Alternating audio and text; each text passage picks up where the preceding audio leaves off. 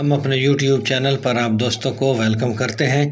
ملازمین اور پینشنرز کے لیے بڑی بریکنگ نیوز ہے کہ سول سروینٹس ترمیمی بل دو ہزار چوبیس قومی اسمبلی میں پیش کر دیا گیا۔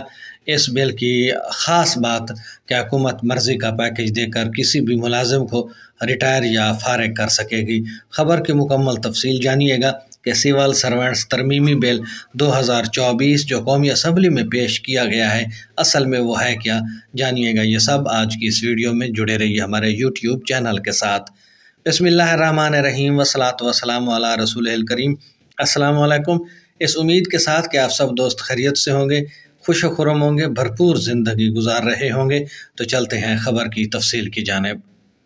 خبر کی تفصیل کے مطابق سول سروینٹس ترمیمی بل دو ہزار چوبیس قومی اسمبلی میں پیش، قائمہ کمیٹی کے سپورت۔ اداروں کی رائٹ سائزنگ کے نتیجے میں سرپلس پول میں جانے والے بیوروکریٹ کو دوسرے محکمے میں مساوی پوسٹ پر تعینات کیا جا سکے گا۔ رائٹ سائزنگ سے متاثر ہونے والے بیوروکریٹس کے مستقبل کے لیے حکومت کا اہم فاصلہ سول سروینٹس ترمیمی بل دو ہزار چوبیس قومی اسمبلی میں پیش قائمہ کمیٹی کے سپرد کر دیا گیا۔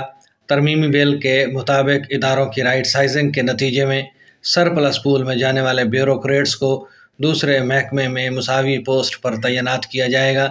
مساوی پوسٹ دستیاب نہ ہونے کی صورت میں نچلی سطح کی پوسٹ پر تعینات کیا جا سکے گا۔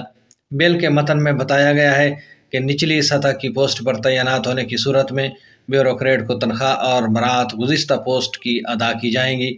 ترمیمی بل اداروں کی بندش کی صورت میں سرپلس پول میں جانے والے افسروں کو خصوصی پیکج دیا جائے گا۔ اس طرح خصوصی پیکج سے مطمئن نہ ہونے والے بیوروکریٹس سات دنوں میں مصالحاتی کمیٹی کے سامنے پیش کرے گا۔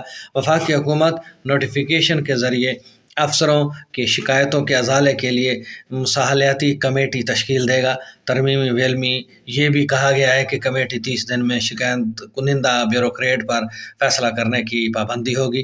کمیٹی کا فیصلہ ملک کی کسی بھی عدالت میں چیلنج نہیں کیا جا سکے گا۔ ملازمت سے برطرف ہونے والا بیوروکریٹس خصوصی پیکج کا حقدار نہیں ہوگا۔